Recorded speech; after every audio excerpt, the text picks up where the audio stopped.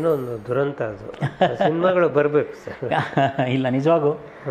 ಅದನ್ನು ನೆನೆಸ್ಕೊಂಡಾಗ ಯಾಕೆಂದರೆ ನಾನು ಮತ್ತು ಹಂಸಲೇಖ ಅವರು ಹಾಕಿದ ಎಫರ್ಟು ಮತ್ತು ಕನಸು ಭಾಳ ಅಂತ ಹಂಸಲೇಖಂತ ದೈತ್ಯ ಪ್ರತಿಭೆ ಇನ್ನಷ್ಟು ದೊಡ್ಡ ಫೀಲ್ಡ್ ಬೇಕು ಅವ್ರಿಗೆ ಆಟ ಹೌದು ಹೌದು ಹೌದು ಹೌದು ಹೌದು ಇಲ್ಲ ಸರ್ ಈಗ ನಾವು ಇಲ್ಲಿವರೆಗೂ ನೋಡಿದ್ದೀವಲ್ಲ ಸರ್ ಇಷ್ಟು ಮೂವತ್ತು ವರ್ಷಗಳು ಕಾಲ ಸಿನಿಮಾ ಮಾಡಿದ್ದೀನಿ ನಾನು. ಪ್ರೋಗ್ರಾಮ್ ಹಾಕೋದ್ ಪ್ರಕಾರ ಒಂದು ಸಿನಿಮಾನೂ ನಡೆಯಲ್ಲ. ನಾವೇನೋ ಒಂದು ಪ್ರೋಗ್ರಾಮ್ ಹಾಕೋತೀವಲ್ಲ? ನಾವೇನೋ ಸ್ಕ್ರಿಪ್ಟ್ ಬೇರೆ ನಾವೇನೋ ಒಂದು ಪ್ರೋಗ್ರಾಮ್ ಹಾಕಿದ್ರೆ ಭಗವಂತನೇ ಒಂದು ಬೇರೆ ಪ್ರೋಗ್ರಾಮ್ ಹಾಕಿರ್ತಾನೆ.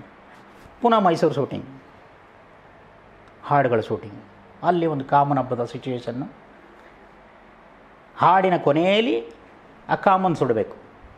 ಮೆಡ್ರಾಸಿಂದ ಡ್ಯಾನ್ಸರ್ಸ್ ಬಂದಿದ್ದಾರೆ. ಒಂದು ಐವತ್ತು ಜನ ಡ್ಯಾನ್ಸರ್ಸ್ ಆಚೆ ಎಲ್ಲ ಬಾಯ್ಸು ಮಧ್ಯೆ ಗರ್ಲ್ಸು ಅದ್ರ ಮಧ್ಯೆ ಒಂದು ಗಿಳಿ ಇದು ಬೃಹದಾಕಾರವಾದ ಒಂದು ಗಿಳಿ ಕಾಮಂದು ಎಲ್ಲ ಸೆಟಪ್ ಮಾಡಿದ್ದೀವಿ ಇಡೀ ರಾತ್ರಿ ಶೂಟ್ ಮಾಡಿದ್ದೀವಿ ನಾವು. ದೇವಾ ಸಂಪತ್ ಅಂತ ಕೊರಿಯೋಗ್ರಾಫರು ರೆಸ್ಟೆಂಟ್ಸು ಎಲ್ಲ. ಎಲ್ಲರೂ ಇದ್ದೀವಿ ಅಲ್ಲೇ. ಬೆಳಗಿನ ಜಾವ. ನಾವೇನು ಇನ್ಸ್ಟ್ರಕ್ಷನ್ ಕೊಟ್ಟಿದ್ದೀವಿ ಎಲ್ಲ ಎಲ್ಲರ ಕೈಯಲ್ಲೂ ಪಂಜಿದೆ ರೊಟೇಟ್ ಮಾಡ್ಕೊಂಡು ಮಾಡ್ಕೊಂಡು ಮಾಡ್ಕೊಂಡು ಬಂದು ಎಲ್ಲರೂ ಒಂದೇ ಸಾರಿ ಬೆಂಕಿ ಇಡಬೇಕು ಅಂತ. ನಮ್ಮ ಸೆಟ್ ಅಸ್ಟೆಂಟ್ಸ್ ಏನು ಮಾಡಿದ್ದಾರೆ? ಇಟ್ಟ ತಕ್ಷಣ ಒಂದೇ ಸಾರಿ ಬೆಂಕಿ ಎತ್ಕೊಳ್ಳಿ ಅಂತ ಈ ರಬ್ಬರ್ ಸೊಲ್ಯೂಷನ್ ಇದೆಯಲ್ಲ ಸರ್? ಓ ಓಹೋ ಹಾಂ. ರಬ್ಬರ್ ಸೊಲ್ಯೂಷನ್ ಹಾಕ್ಬಿಟ್ಟಿದ್ದಾನೆ ಎಲ್ಲಕ್ಕೂ. ರಬ್ಬರ್ ಸೆಲ್ಯೂನ್ ಮೇಲೆ ಪೆಟ್ರೋಲ್ ಹಾಕ್ಬಿಟ್ಟವನು. ನಮಗೆ ಗೊತ್ತಿಲ್ಲ. ಅವ್ರಿಗೇನಾದ್ರು ಬೆಳೆದಿನ ಜಾವ ಒಂದೇ ಸಾರಿ ಎಫೆಕ್ಟಿವ್ ಆಗಿ ಹತ್ಕೋಬೇಕು. ಹತ್ಕೊಳುತ್ತೆ ಅಂತ ಅವ್ರ ಕಲ್ಪನೆ ಸಾಂಗ್ ಆನ್ ಮಾಡಿದ್ವಿ. ಟೇಕು ಆ್ಯಕ್ಷನ್ ಹೇಳಾಯಿತು. ಓಡ್ತಾಯಿದ್ದು ಓಡ್ತಾಯಿದ್ದು ಓಡ್ತಾಯಿದ್ದು ಓಡ್ ಲೆಂತಿ ಶಾರ್ಟ್ ಕೊನೆಯಲ್ಲಿ ಬಂದು ಎಲ್ಲ ಕೌಂಟ್ ಹೇಳಿದಾಗ ಹಾಕ್ಬೇಕು ಸರ್. ಇಟ್ಟ ತಕ್ಷಣ ಹೊರಗಡೆ ಏನಿಟ್ಟಿದ್ವಿ ಅದು ಮಧ್ಯದ ಎಲ್ಲ ಪೋರ್ಷನ್ಸು ಬೆಂಕಿ ಎತ್ಕೊಬಿಡ್ತು ಅಕ್ಷರ ಬರ ಡ್ಯಾನ್ಸರ್ಸ್ ಎಲ್ಲಿದ್ದಾರೆ ಅನ್ನೋದೇ ಗೊತ್ತಿಲ್ಲ ನಮಗೆ. ಆರ್ಸೋಕ್ಕೂ ಆಯ್ತಾ ಇಲ್ಲ. ಬೆಳಗಿನ ಜಾವ. ಕೆಲವ್ರು ಕೆಲಸ ಮಾಡ್ತಿದ್ದಾರೆ ಗೊತ್ತಲ್ಲ ಲೇಟ್ ನೈಟ್ ಅಂದರೆ ಎಲ್ಲ ಲಲ್ಲ ಮಲಗಿಬಿಟ್ಟಿರ್ತಾರೆ. ಹತ್ತತ್ರ ಮೂವತ್ತು ನಲ್ವತ್ತು ಜನ ಡ್ಯಾನ್ಸರ್ಸ್ ಫೇಂಟ್ ಆಗೋದ್ರಲ್ಲ. ಹ್ಞೂ ಸರ್ ಇಮ್ಮಿಡಿಯೇಟ್ ಎಲ್ಲರನ್ನು ತುಂಬಿಕೊಂಡು ಮೈಸೂರು ಹಾಸ್ಪಿಟ್ಲಿಗೆ ಶಿಫ್ಟ್ ಮಾಡಿದ್ವಿ. ಇದರಿಂದ ಒಂದು ಎರಡು ತಿಂಗಳು ಮುಂದೆ ಹೋಯ್ತು. ಸರಿ ಸರಿ. ಸಾರು ನಾನು ಡಿಸ್ಟರ್ಬ್ ಆಗ್ಬಿಟ್ವಿ. ಏನಕ್ಕೆ ಹಿಂಗೆ ಆಗ್ತಿದೆ? ಏನಕ್ಕೆ ಏನಕ್ಕೆ? ಎಷ್ಟೊಂದು ಜೋಸಲ್ಲಿ ಶುರು ಮಾಡಿದ್ವಿ ಎಷ್ಟು ಆಸೆಗಳಿಟ್ಕೊಂಡು ಮಾಡಿದ್ವಿ ಯಾಕೆ ಯಾಕೆ? ಇದ್ರ ಮಧ್ಯೆ ಕೆರೆ ತೊಣ್ಣವರು ಆ ಕಟ್ಟೆ ಇದೆಯಲ್ಲ, ಕಟ್ಟೆ ಮೇಲೆ ಎರಡು ಸೆಟ್ ಹಾಕ್ಬಿಟ್ಟಿದ್ದೀವಿ ಆವತ್ತಿನ ಕಾಲಕ್ಕೆ. ನ್ಯಾಚುರಲ್ ಸೆಟ್ ಎರಡು ಮನೆಗಳು. ಇದು ಹೀರೋ ಮನೆ ಇದು ಹೀರೋಯಿನ್ ಮನೆ. ಅದು ಹಿಂಗಿಟ್ರೆ ಸ್ಕೈಯಲ್ಲಿರೋದು ಎರಡು ಮನೆ. ನೋಡೋಕ್ಕೆ ಒಂದು, ಎಲ್ಲ ಬಂದು ನೋಡೋರು. ಒಂದು ಟೂರಿಸಮ್ ಪ್ಲೇಸ್ ಆಗೋಗಿತ್ತು ಅದು.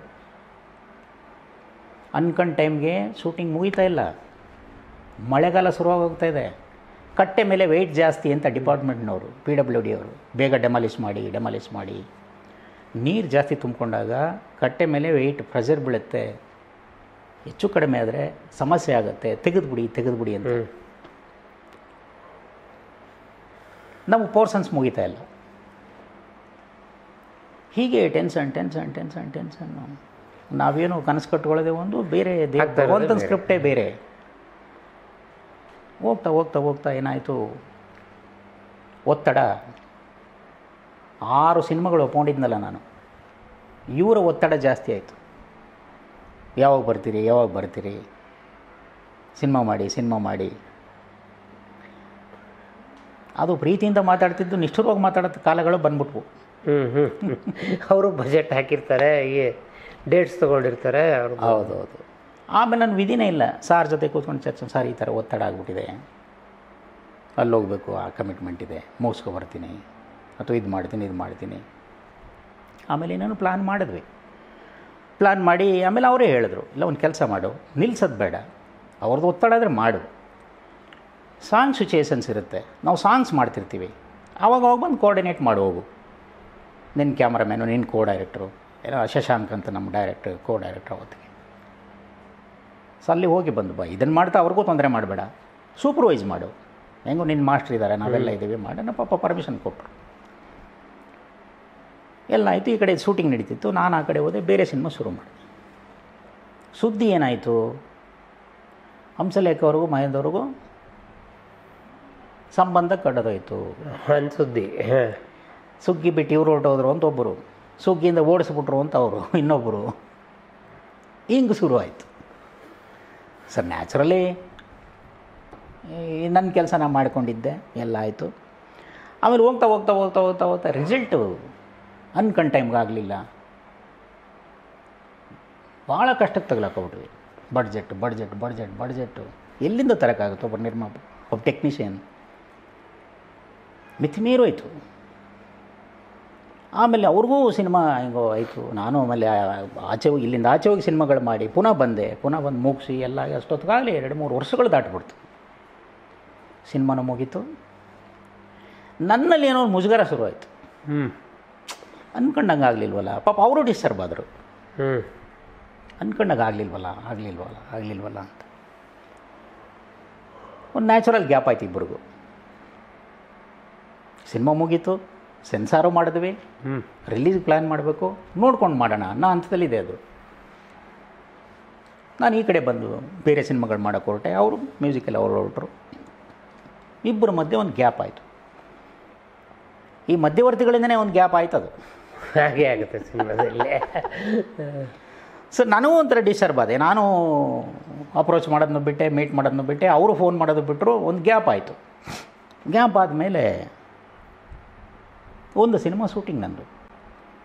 ಕೊಡಗಿನ ಕಾವೇರಿ ಅಂತ. ಪೂಜೆ ಮಾಡಬೇಕದು. ಅದು ಈ ಆರು ಸಿನಿಮಾಗಳು ಒಪ್ಕೊಂಡಿದ್ದದ್ದು ಒಂದು ಪ್ರಾಜೆಕ್ಟ್ ಅದು.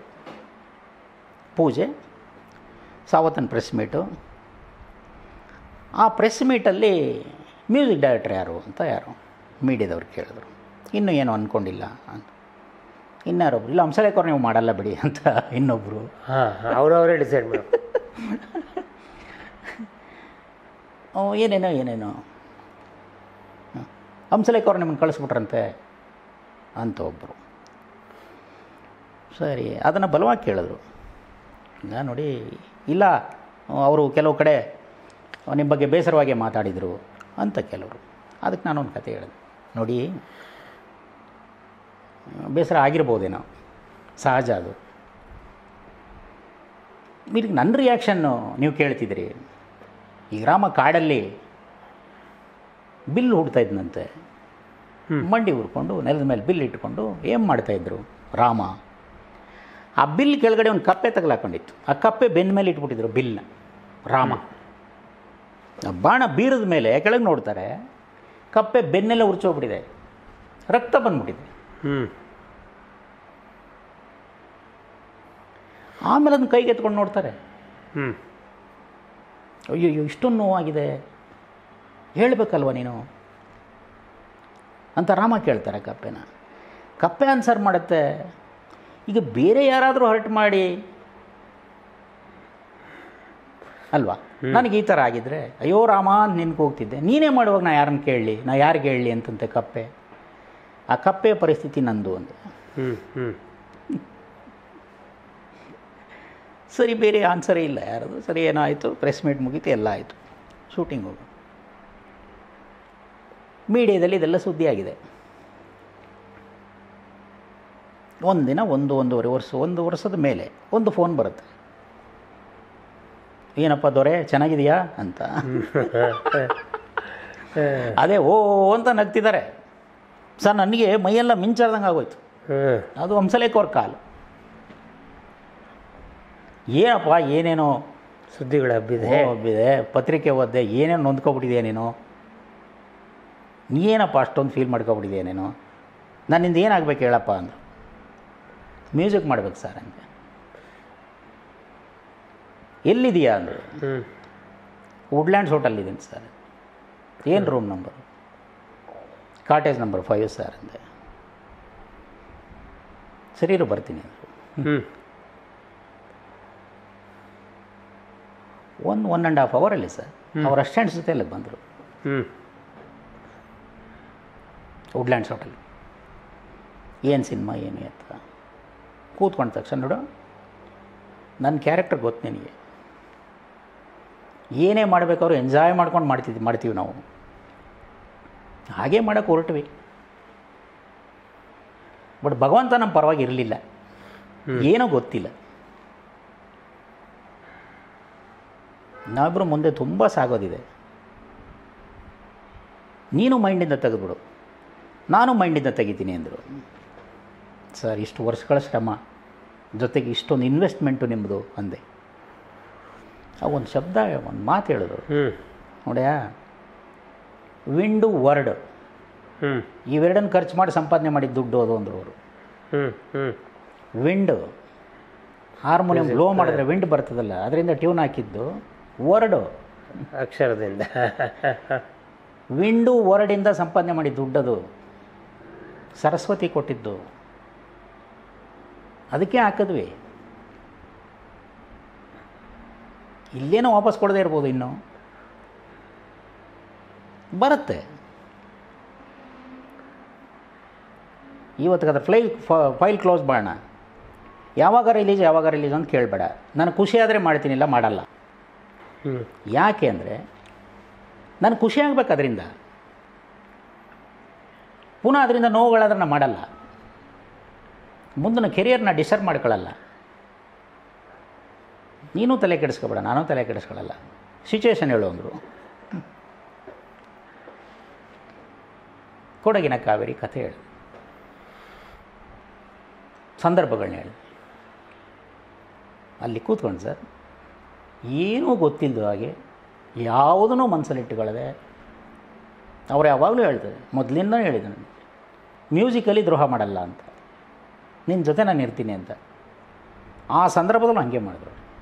ಇವತ್ತಿಗೂ ಕೇಳಿದ್ರೆ ಆ ಕೊಡಗಿನ ಕಾವೇರಿ ಹಾಡುಗಳು ಒಂದಕ್ಕಿಂತ ಒಂದು ಸಾರಿ ಒಂದಕ್ಕಿಂತ ಈಗ ನೋಡಿ ಅಷ್ಟು ದೊಡ್ಡ ಪ್ರಾಜೆಕ್ಟ್ ಮಾಡುವಾಗ ಅಷ್ಟೆಲ್ಲ ಸಮಸ್ಯೆಗಳಾಗುವಾಗ ಅಷ್ಟು ಲಾಸ್ ಆಗುವಾಗ ಇನ್ನೊಂದು ಆಗುವಾಗ ಬೇರೆ ಯಾರಾದ್ರೂ ಆಗಿದ್ರೆ ಏನೇನು ಆಗೋಗ್ತಿತ್ತು? ಸಂಬಂಧಗಳು. ಅಲ್ಲ ಅಲ್ವ ಒಬ್ಬ ಪ್ರೊಡ್ಯೂಸರ್ದು ಒಬ್ಬ ಡೈರೆಕ್ಟರ್ದು ಸಂಬಂಧಗಳು ಏನೇನಾಗೋಗ್ತಿತ್ತು ಬಟ್ ಪರಿಸ್ಥಿತಿ ಪರಿಸ್ಥಿತಿ ಪರಿಸ್ಥಿತಿ.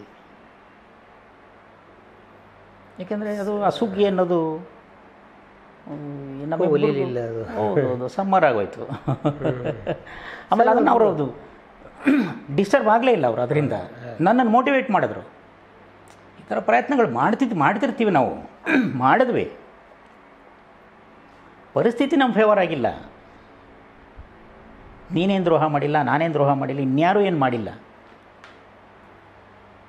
ಯಾಕೆಂದರೆ ಈ ಸಿನಿಮಾ ಹಾಗೆ ಸರ್ ಯಾಕೆ ಹೊರಡುವಾಗ ಏನೆಲ್ಲ ಕನಸುಗಳು ಕಟ್ಟಿಕೊಂಡು ಹೋಗ್ತಿರ್ತೀವಿ.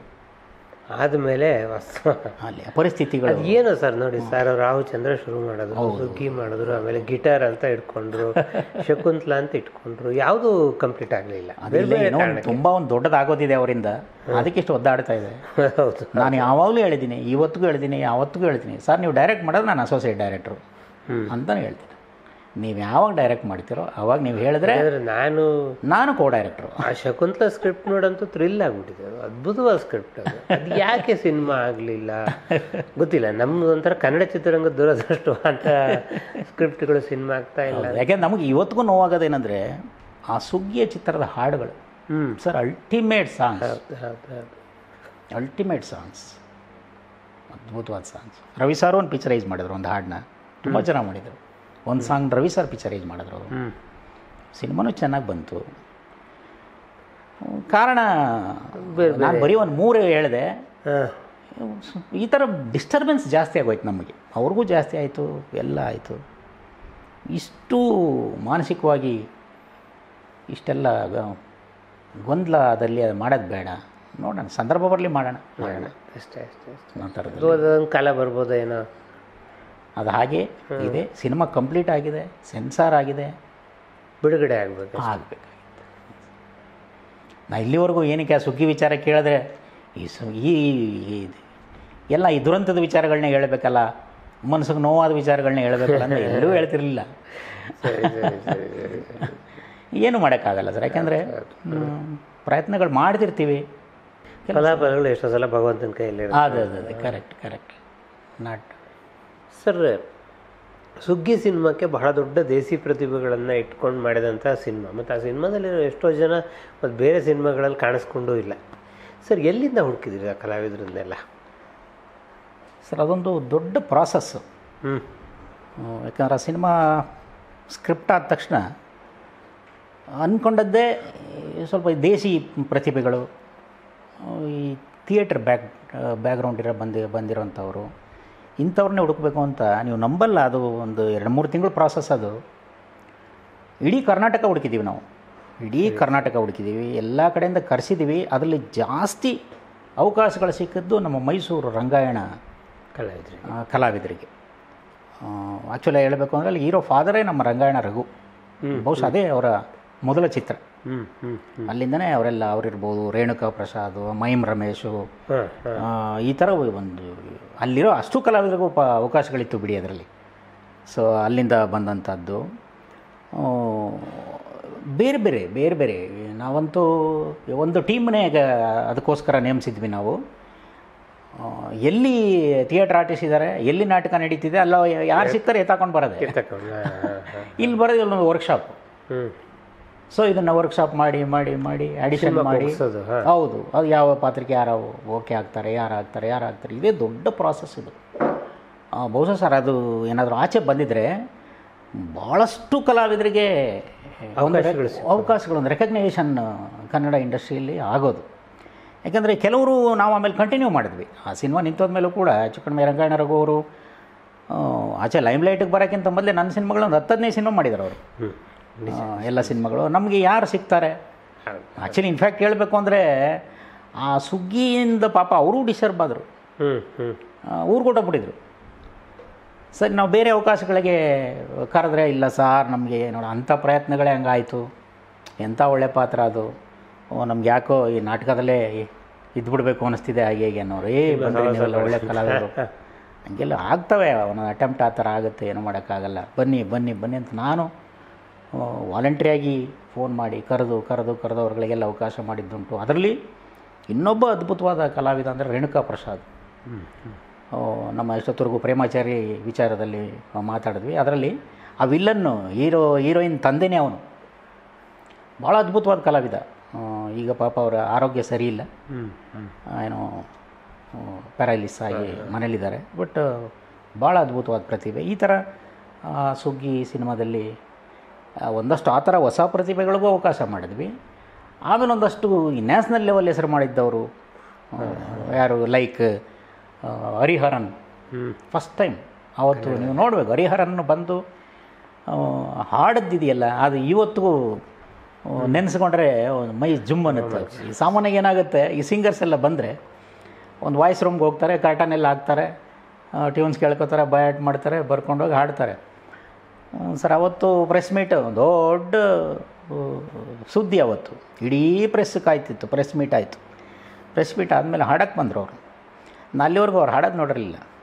ಪ್ರಸಾದ್ ಥಿಯೇಟ್ರಲ್ಲಿ ಎಷ್ಟು ದೊಡ್ಡ ಹಾಲು ಸರ್ ಅದು. ಸೆಂಟ್ರಲ್ ಮೈಕ್ ಹಾಕ್ಸಿದ್ರು ಅಪ್ಪ ಹಾಂ ಹೌದು. ಸೆಂಟ್ರಲ್ ಮೈಕ್ ಹಾಕ್ಸ್ಬಿಟ್ಟು ನಿಂತ್ಕೊಂಡು ಆಡ್ತಿದ್ರು. ಸುಗ್ಗಿ ಸುಗ್ಗಿ ಹೋಯ್ ಹೋಯ್ ಹೋಯ್ತು ಒಂದು ಹಾಡೋದು ಭಾಳ ಎಂಜಾಯ್ ಮಾಡ್ಕೊಂಡು ಆ್ಯಕ್ಟ್ ಮಾಡಿದ್ರು ಅದು ಆ ಥರ ಈ ಕಡೆಯಿಂದ ಸೌತಿಂದ ನಮ್ಮ ರಾಧಾ ರವಿ. ರಾಧಾ ರವಿ ತುಂಬ ಪ್ರಮುಖವಾದ ಪಾತ್ರ ಅವರು ಆ ಸಿನಿಮಾದಲ್ಲಿ. ಸರಿ. ಈ ಥರ ಇಂಡಿಯನ್ ಲೆವೆಲಲ್ಲಿ ಎಲ್ಲ ಭಾಗದಿಂದನೂ ಅದಕ್ಕೆ ಕಲಾವಿದರು ಟೆಕ್ನಿಷಿಯನ್ಸು ಎಲ್ಲ ಥರದ ಇದನ್ನು ಮಾಡಿದ್ವಿ ಸರ್ ಆ ಪ್ರಯತ್ನದಲ್ಲಿ.